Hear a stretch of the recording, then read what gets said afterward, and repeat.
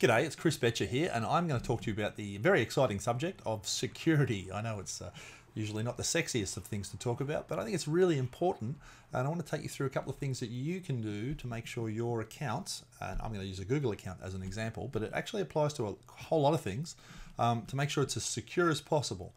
Now, it uses a thing I'm going to talk to you about called two-factor authentication. And if you imagine the front door to your house, sometimes a lot of front doors have like a top lock and a bottom lock and you actually need both keys uh, to turn in both locks simultaneously for the door to open. Uh, it's the same kind of thing here with two-factor authentication. Most of us, when we have an account, have one factor. It's a password. And we type the password in and we get into the account. The trouble is if someone else has that password, they can also type it in and get into the account. So if you get hacked or uh, you know some, some some password breach and your your uh, password information gets leaked online, which happens more than you might think, uh, means someone else can get into your account and cause all sorts of havoc. Not a good thing. So it's a good idea to have this thing called a second factor. Um, and let me show you how that works out. So this is a Google account, and I'm going to click on my little icon in the corner here and go to this blue button that says My Account. Now, once you're in here, if you've never looked in here, you should. There's a lot of really interesting, uh, geekily interesting things in here that you probably should be aware of. But one of them is sign-in security. So we'll go into there and we're going to go into this section down here called password and sign in method. And you can see right now that two-step verification is turned off which means the only thing you need to log into this account is a username and password. That's it.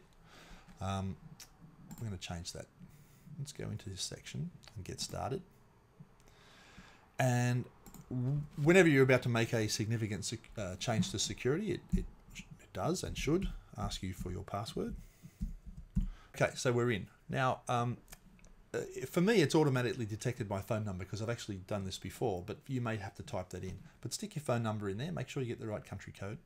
And you have an option of getting a text message or a phone call. I think text messages is easiest, um, so we'll go with text message for here, and I'll say try it. Now, while that's doing that, th thing there, uh, over on the side here, this little uh, thing here is actually my phone. And so here it is, 517653. 517653. Okay, and so that's the code that just got texted to me. I can show you there it is right there, okay, on the phone. So we'll go next.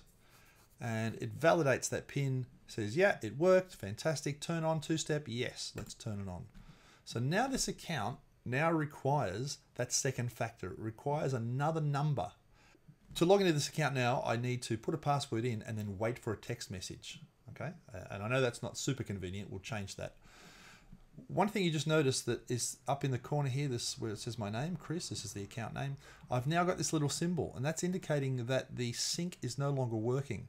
Because I just changed the login method to require a second factor, uh, it's saying that those details are now out of date. The, the, the uh, original way I had it with one factor needs to be updated. I'm going to come back and do that in just a sec. Just wanted to point that out. Um, once you've done, once you've turned two-factor on, and now it will require a text message in order to log into the system. But what happens if you don't have your phone with you, or what happens if your phone is stolen or lost? Well, you need a backup. So there's this thing called backup codes. So a really good idea is your next thing here is to turn that on. So hit the setup button, and it will generate a bunch of backup codes. And these codes will work to log in as the second factor to your account. You still need the password, and you need one of these numbers. These numbers only um, uh, one use only. So if you log in using, say, this first number, then that's used. You can't use it again another time.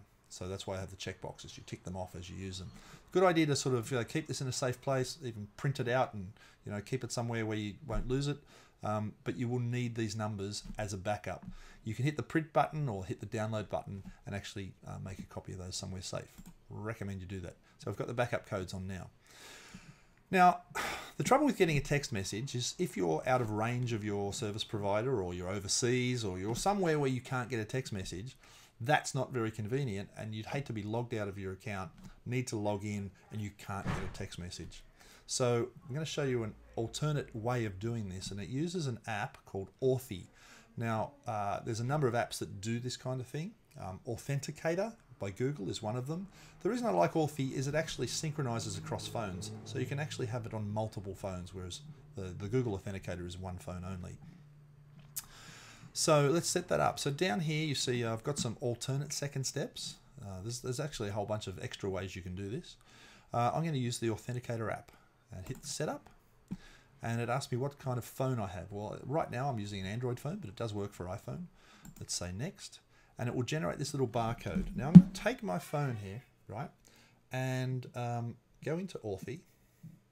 And just come out of there. Right and up in the top corner hit the overflow menu and say add account and now it will give me a QR code scanner and all I need to do is point that at that QR code just let it focus for a sec oh, come on focus there you go so it's detected it so it's detected the account and now I say done oops I click done on the phone and so now it is generating the codes now that code there 484011 is the code that will be used as a second factor. But you see how it's counting down there? 8 seconds, 7 seconds, 6 seconds. That code is only valid for 30 seconds. So imagine, you know, you've somehow guessed my password and you want to log into my account. Well, if you don't have that code in the same 30 second window, then neither of those things are any good to you. So it's, it makes it much more secure. That code will just regenerate every 30 seconds. All right, let's just come out of there. And you'll notice that down the bottom of this list here, uh, the, the one right at the bottom, chris at training.cruxlearning.com, that's the code that was just generated. Now, we still have to uh, just finish the process here. So we'll go next, and we need to verify by tapping on that code and putting in the current uh, 907356 and verifying it. And then it, it, it, all the systems talk to each other and says, great, we're done.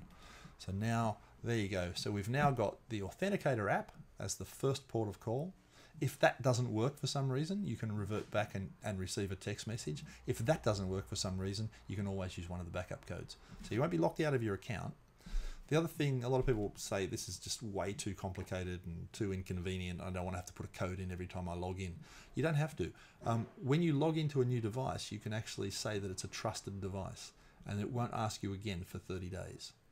So if it's a computer you're using all the time, don't panic. It's not going to keep asking you for a code. Um, it, it, it, will trust that machine and just ask you occasionally to just update the code and make sure it's uh, up to date. All right, so uh, pretty easy. Um, I'm just going to refresh this. Remember I said this is out of date now, so we'll just tap on there and say sign in again. And now you'll see the two-factor in play here. So yes, a change in your account requires you sign in your sign in again. Fantastic. Put in my password. Great, and now it asks for the second factor, and you can see over here the second factor is currently 677804. Next, and it's going to go great, fantastic, and that little warning symbol's now gone away. Now, just I just want to show you how this it's practically in action. Just I'm going to open an incognito window, and most of you will probably know that an incognito window is uh, a window that you are not logged into. So this is as though I was an outsider now. So you'll see I need to log into this account as an outsider. So uh, there you go, it's remembered my password. Um, sorry, my uh, username. I'll stick in my password. Great, password's correct, but now it needs the second factor. Now I can go over here and go, uh, you know, currently the new one here is 151 412 and say done. And there you go, it logs me in because I've had both factors correct. If I tried to do it outside that 30 second window, it wouldn't obviously work. Let me just close that incognito window and show you what would happen, for example, if you weren't using the Authenticator app. Uh, let's just do that. So we'll open another incognito window and we'll try and go to Gmail again. And uh, we'll log in one more time. Okay, put the password in.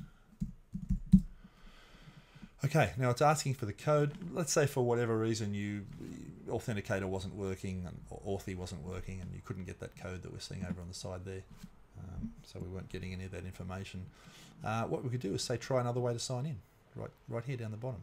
So click that, and well, if this if we don't have access to this, we can do the next one. Get a text message with verification. If that doesn't work for some reason, we're not in a re receiving zone, then you can always use one of your backup codes. And there's also you can also ask Google for help if you need to. So there's a whole bunch of ways that you can um, make your make your account way more secure, way more secure.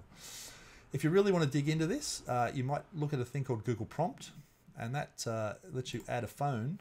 Um, and I'm not going to do it right now, but uh, you can have a play with this one.